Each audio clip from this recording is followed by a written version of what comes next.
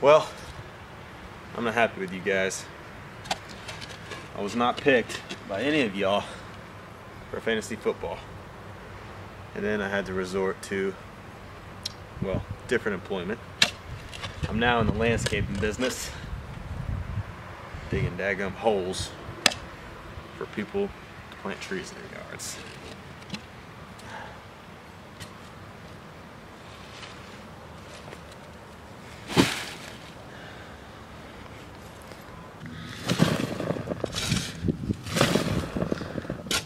This guy better like this.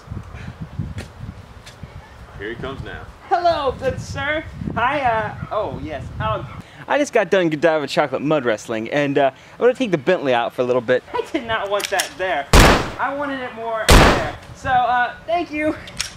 Are you kidding me?